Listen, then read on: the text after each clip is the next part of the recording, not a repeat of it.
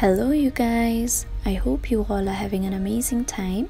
Today I'm back with another tutorial video and in this video I'll be guiding you guys through the steps of logging into your Binance account.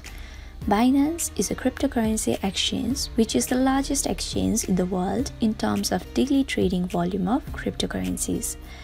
It was founded in 2017.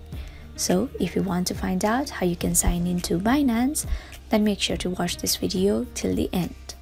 First of all, make sure to download the app in your device and once the app has been downloaded, go to the app.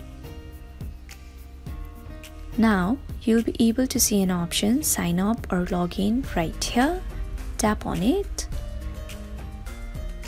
Then you'll be able to see this interface. As you can see here, you are being asked for your email address and password.